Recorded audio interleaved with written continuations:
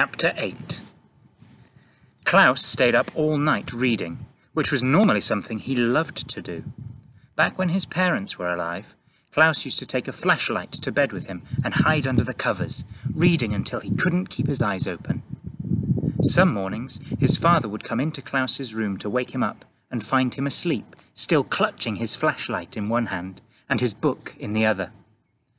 But on this particular night, of course, the circumstances were much different. Klaus stood by the window, squinting as he read his smuggled book by the moonlight that trickled into the room. He occasionally glanced at his sisters. Violet was sleeping fitfully, a word which here means, with much tossing and turning, on the lumpy bed, and Sunny had wormed her way into the pile of curtains so that she looked just like a small heap of cloth. Klaus had not told his siblings about the book because he didn't want to give them false hope. He wasn't sure the book would help them out of their dilemma. The book was long and difficult to read, and Klaus became more and more tired as the night wore on. Occasionally, his eyes would close. He found himself reading the same sentence over and over. He found himself reading the same sentence over and over. He found himself reading the same sentence over and over. But then he would remember the way the hook hands of Count Olaf's associate had glinted in the library, and would imagine them tearing into his flesh, and he would wake right up and continue reading. He found a small scrap of paper and tore it into strips, which he used to mark significant parts of the book. By the time the light outside grew grey with the approaching dawn, Klaus had found out all he needed to know. His hopes rose along with the sun. Finally, when the first few birds began to sing, Klaus tiptoed to the door of the bedroom and eased it open quietly, careful not to wake the restless Violet or Sunny, who was still hidden in the pile of curtains. Then he went to the kitchen and sat and waited for Count Olaf. He didn't have to wait long before he heard Olaf tromping down the tower stairs. When Count Olaf walked into the kitchen, he saw Klaus sitting at the table and smirked, a word which here means smiled in an unfriendly, phony way. Hello, orphan, he said. You're up early. Klaus's heart was beating fast, but he felt calm on the outside as if he had on a layer of invisible armour. I've been up all night, he said, reading this book. He put the book out on the table so Olaf could see it. It's called Nuptial Law, Klaus said, and I learned many interesting things while reading it. Count Olaf had taken out a bottle of wine to pour himself some breakfast, but when he saw the book, he stopped and sat down.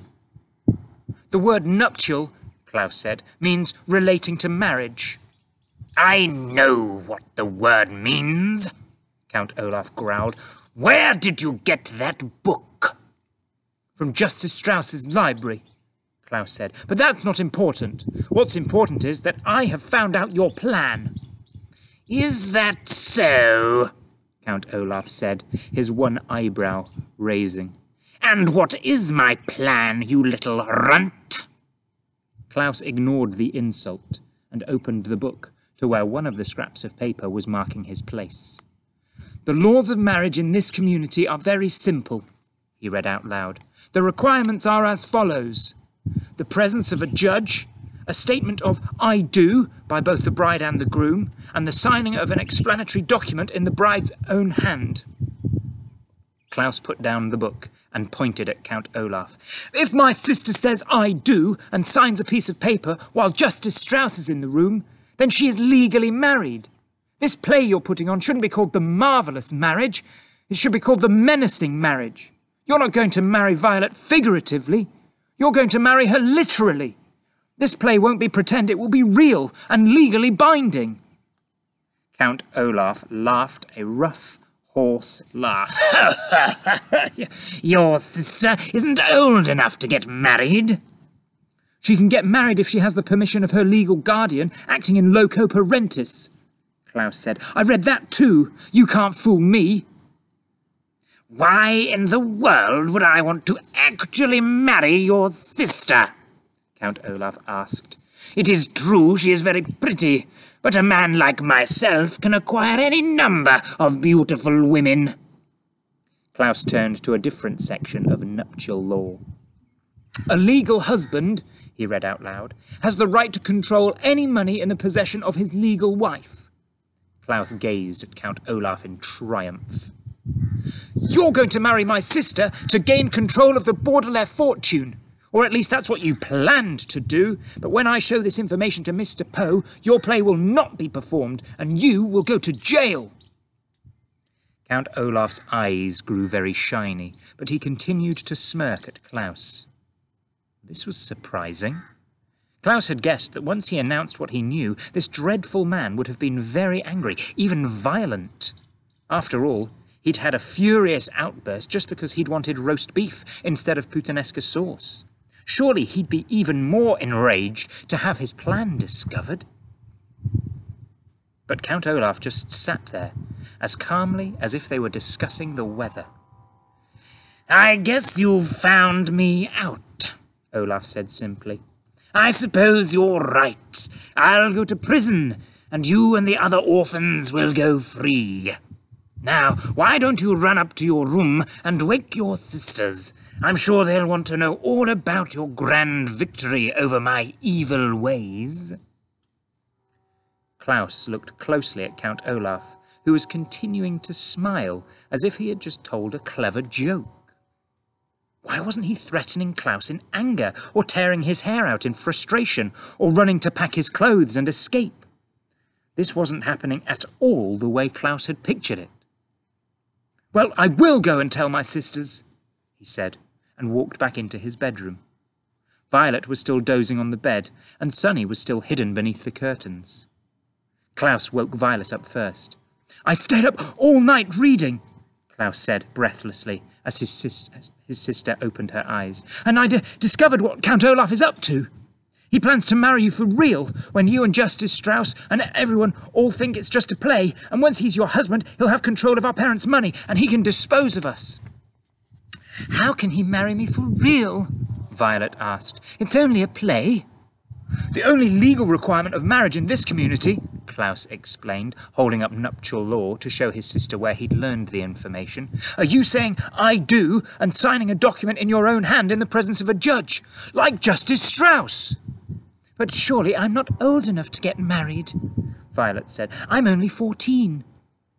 Girls under the age of eighteen, Klaus said, flipping to another part of the book, can marry if they have the permission of their legal guardian. That's Count Olaf. Oh no, Violet cried. What can we do? We can show this to Mr. Poe, Klaus said, pointing to the book. And he will finally believe us that Count Olaf is up to no good. Quick, get dressed while I wake up Sunny, and we can be at the bank by the time it opens.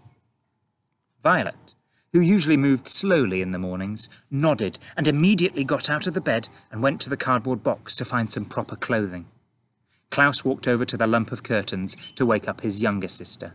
Sunny, he called out kindly, putting his hand on where he thought his sister's head was. Sunny! There was no answer.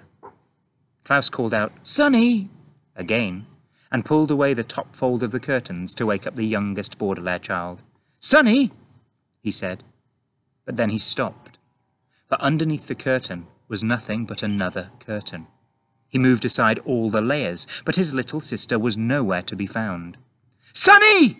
he yelled, looking around the room. Violet dropped the dress she was holding and began to help him search. They looked in every corner, under the bed, and even inside the cardboard box. But Sunny was gone. Where can she be? asked Violet worriedly. She's not the type to run off. Where can she be indeed? said a voice behind them, and the two children turned around. Count Olaf was standing in the doorway, watching Violet and Klaus as they searched the room. His eyes were shining brighter than they ever had, and he was still smiling like he'd just uttered a joke.